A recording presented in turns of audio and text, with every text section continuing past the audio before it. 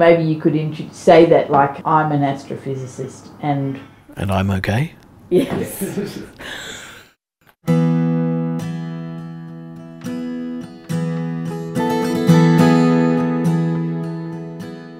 My mother was concerned that I was getting introverted because of my weight problem, nervous around people, and uh, wasn't developing an outgoing personality, so she put me in a circus. So my first job at 50 cents an hour was working on the clowns. Then I got to run the merry-go-round when I graduated. You know. That was good fun. It was every summer down at Phillip Island. They used to set up near the bandstand on the on the waterfront. Well, I'm not sure I saw it as a major career move. I mean, you can only run a merry-go-round for so long. I was the first person from my family to go to university. We didn't know anything about it, what it was. Came from a family of coal miners, basically. Well, the main reason for studying where everything comes from is because we don't know. And if there's something we don't know and it's knowable, I think we should be trying to find out.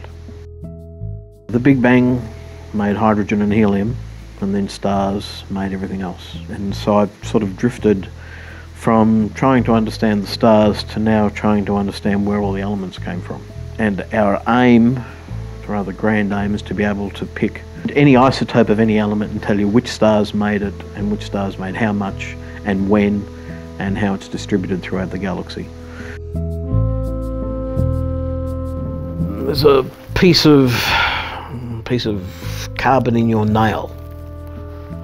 Where was that a year ago? At some stage it was in something you ate. Might have been a piece of carrot. What about uh, 50 years ago? Must have been on the ground somewhere, you know, to later become part of the carrot when it grew. And where was it five billion years ago? It was, it was drifting through space. How did it get into space? It got thrown out from a star. So that piece of carbon that came through all of these processes to end up in your in your nail was originally part of a star, and it was originally hydrogen. Because hydrogen fused into helium, and then the helium fused into carbon, and then the star spat the carbon back into the into the galaxy. So everything comes back to hydrogen that was made in the Big Bang, but it was the stars that turned it into whatever element it is now. Because that doesn't happen on Earth. That's that, that, that takes too high an energy. So that's how I explain to people that what, what we do is we try and calculate how that happens so that we can predict how much hydrogen gets made into helium and then gets made into carbon. I don't think of my career 10 years from now, I just sort of want, I just want to know the answer to a few questions. And the globular clusters is one. I would like to know how they got to be the way they are.